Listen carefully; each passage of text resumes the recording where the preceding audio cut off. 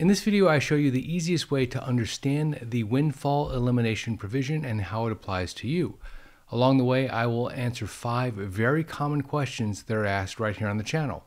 Coming up next on Holy Schmidt. Holy Schmidt! The windfall elimination provision was enacted in 1983 as a result of a loophole in the way people were paid their Social Security benefits.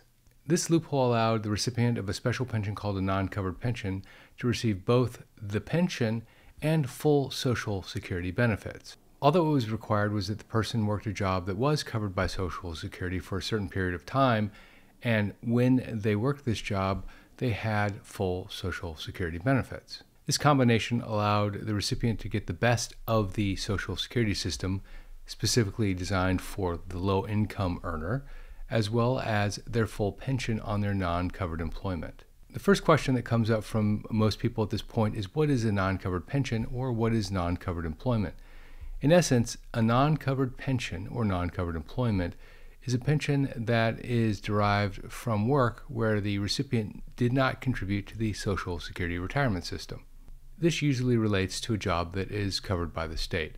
Think of a teacher, a firefighter, or a police officer as an example. This will all become very clear in a moment, but you need to know one point, and that is Social Security's primary mission is to protect those most in need, the low income earner. This should come as no surprise, even the name Social Security suggests this. Because the way Social Security is structured, the more you pay in, the less you get back for every additional dollar contributed. Let me explain. The Social Security Administration taxes 12.4% of covered earnings you pay 6.2% and your employer pays 6.2%. The tax stays in place until you reach the earnings cap. In 2023, for example, the earnings cap is $160,200. So if you earned this amount or more, you and your employer collectively will contribute $19,865 in tax to the Social Security Administration. On the other end, the poverty line for a four person family in the United States is $27,250, according to the Federal Register. This family and the employer contribute a collective number of $3,379 to the Social Security Fund. Now, I'm just generalizing for the moment, but usually someone at the higher end of the income spectrum stays there their entire working life. This is because they arrange their work to reach that higher income level. Think of a doctor, for example. The Social Security Administration uses something called bend points to direct the lion's share of the Social Security payment at retirement to those who need it most. So, bend points can help you if you're a low income earner, but they also take their toll on someone if they fall under the windfall elimination provision. The SSA uses a two step process to determine your Social Security payment if you are a standard contributor to Social Security, and it uses a three step process if you are one that has non covered earnings. Step one the SSA will take your historical earnings, your 35 best years of historical earnings, and index them into today's dollars using something called the average indexed monthly earnings. If, for example, you were born in 1957 and you are retiring in 2023, let's say you earned $10,000 in 1992 the adjustment factor for someone with your birth year and your retirement point in time is 2.19. So if you earned $10,000 in 1992, that 10,000 would be adjusted up to $21,900 today. If this was 10 years later, 2002, the adjustment factor would be 1.51, which means your $10,000 would be adjusted to $15,100 today. The same adjustment would be completed for every year that you work, and the SSA would take your best 35 years in today's dollars and discard the rest. They'd take your 35 years, divide it by 35, and this would be your average indexed annual earnings. Divide that by 12, and you have your average indexed monthly earnings. And if you work less than 35 years, the SSA will add zeros to come up with 35 years and divide that total by 35. So let's say you're the head of the family working just above the poverty line, 27,500 per year and you worked 20 years instead of 35 years. The SSA would take your 27,500 multiplied by 20 years divided by 35, and they'd come up with an annual indexed annual earnings amount of $15,714. They divide that by 12 and they come up with $1,309 per month. And doing the same exercise for the doctor, he or she would have $91,542 as an annual adjusted income. That's $7,628 per month. The next step is to engage in step two. You take that number and you run it through the Social Security bend points. And for 2023, the SSA will pay you 90% of your first $1,115, 32% of the next $5,606, and 15% of the remaining amount up to $7,196. So the person at the low end of the curve will get 90% times $1,115. That's $1,003.50. 32% of the remaining $194. That's $62.08.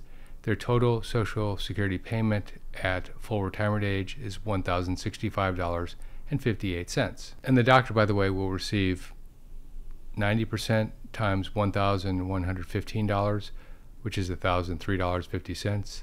32% times $5,606, which is $1,793.12. And 15% of the balance, that's $907. So the final bend point is $136.05. The total the doctor receives is $2,932.67.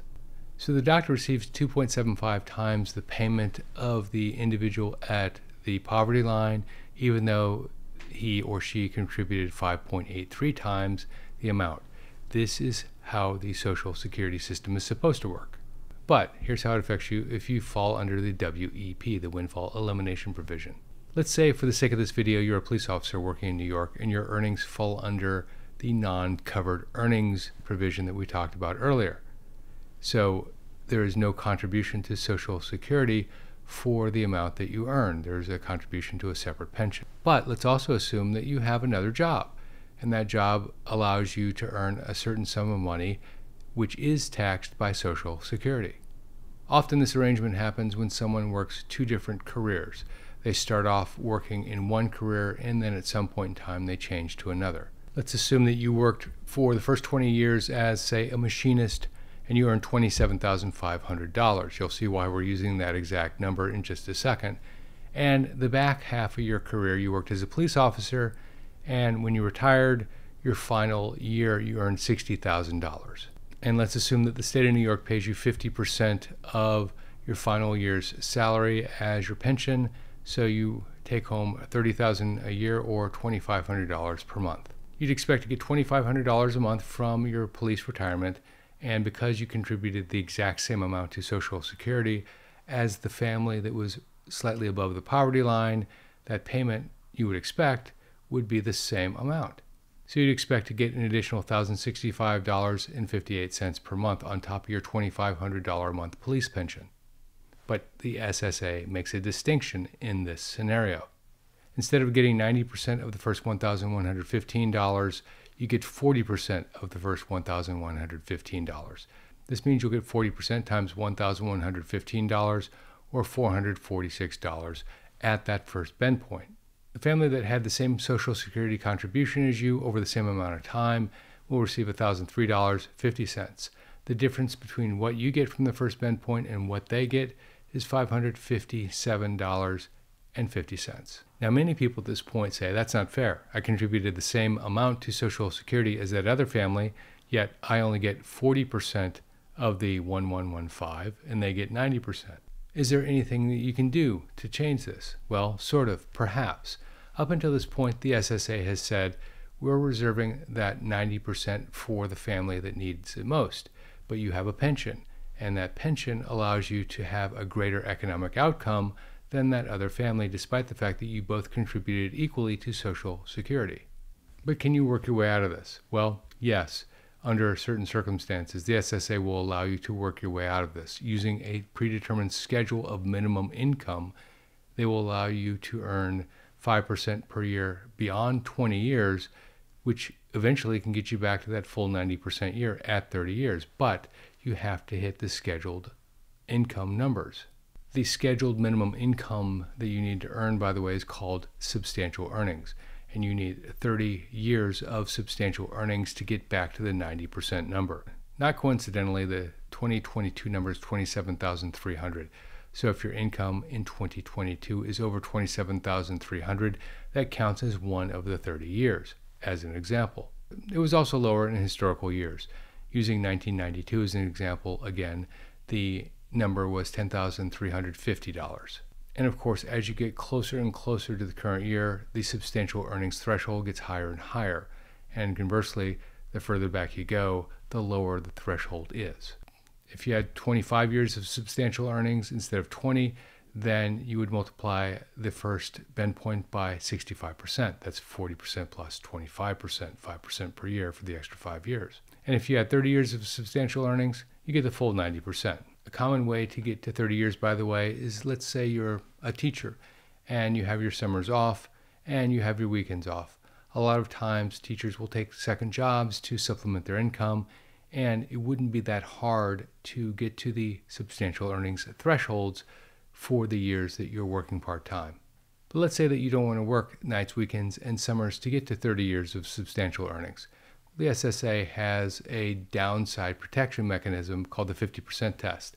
And that simply means that they will not lower your Social Security payment by more than 50% of your pension payment. So, for conversation's sake, let's say that your pension payment was $500 a month, not $2,500 a month. The maximum they could remove from bend point number one would be $250. That's 50% of $500. One common question that comes up is does my Social Security statement reflect the fact that I have covered and non covered earnings? The answer is no. So when you see your Social Security projected monthly payment, that does not take into account the fact that you have non covered earnings. So don't be fooled, the SSA has not made the adjustment. Another common question is Does this adjustment affect spousal benefits, survivor benefits, and dependent benefits? Yes, it does, because all of those benefits are based on the amount that you receive on your Social Security payment. A final question that comes up is what's the difference between the WEP, the windfall elimination provision, and the government pension offset? The WEP relates to the benefits that are paid to the primary insured when they have non covered earnings. The government pension offset, the GPO, relates to the spousal or survivor benefit when the spouse has non covered earnings from the government. They are different. One is the primary benefit, one is the spousal benefit, and in a future video, I'll discuss the GPO. If you like this video, please make sure you click the like button. YouTube uses the number of likes in its algorithm to raise a video in the search results, and I want to help as many people as possible. This is Geoff Schmidt. Thanks for watching.